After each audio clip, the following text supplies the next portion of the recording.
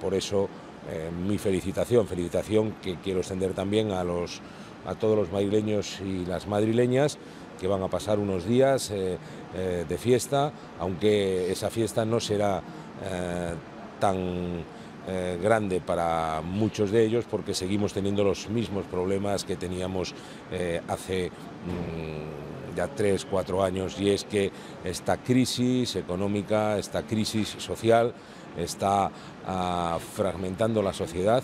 está afectando a aquellos que son más vulnerables y que hablarles a ellos de fiestas pues es casi una paradoja. Eh, yo lo que deseo para el próximo año es que haya realmente por parte de las administraciones públicas y concretamente del Ayuntamiento de Madrid eh, una apuesta decidida para crear empleo, una apuesta decidida para impulsar políticas sociales, una apuesta decidida eh, para que esa desigualdad que va creciendo se vaya reduciendo entre distritos, en la renta per cápita, etcétera, etcétera.